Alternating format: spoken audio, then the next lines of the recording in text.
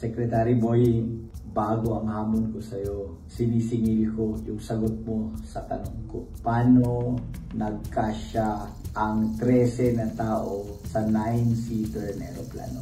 Isa pa, paano nagkasya ang limang pasahero plus piloto sa isang 5-seater na helicopter? Tingin ko, obligasyon mo na sagutin ng diretsyo sa taong bayan yun. Dahil kung hindi hearsay yun o kung hindi man outright sinungaling. Oh, ito, Secretary Boying. Seryoso na to ha. Hindi ako naka-sleeveless. Nagdamit na ako ng matino para malaman ng lahat na formal ito na hamon sa'yo. Inahamon kita.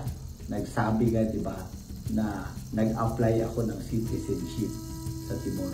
Ngayon, paano pag sinungaling yung sinabi mo? Resign ka. Kung totoo, uwi ako. Will you take my challenge? That's my challenge to you. Saksi ang buong bansa at ang buong mundo.